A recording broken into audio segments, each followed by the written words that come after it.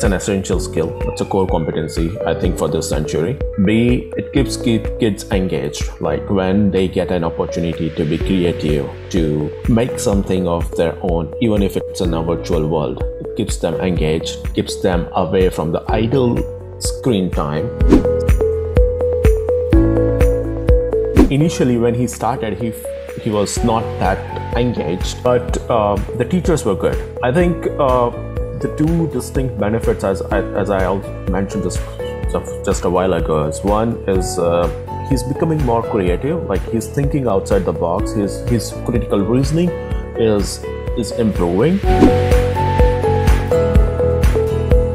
I would certainly recommend 12 mainly for two reasons. One is this teaching staff. Uh, I really like the teaching staffs. They try to connect with the kids. They see that like where the kid is struggling, and then they try to work with that. They they connect with the parents too, like the periodic updates, and the teachers would you know talk with me how he's doing, and he asked me like what would take for one Vandan. Those are very useful things. So like it's a collaborative approach.